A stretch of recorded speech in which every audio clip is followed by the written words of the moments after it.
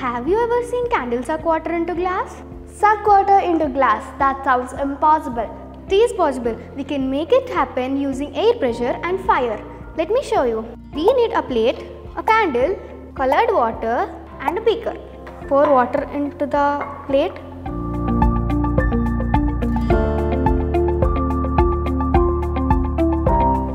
Let me place it carefully.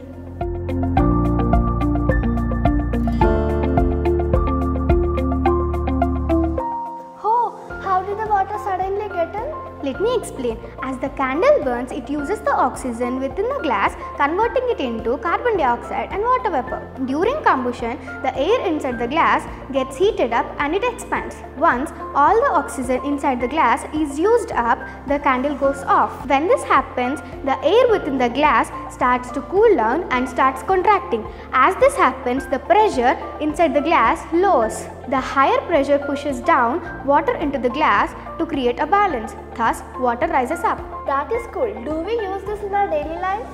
You might find it surprising. Concept of the pressure difference is actively used in vacuum cleaners. The vacuum pump creates low pressure inside the machine causing dirt and air to be sucked to balance the pressure.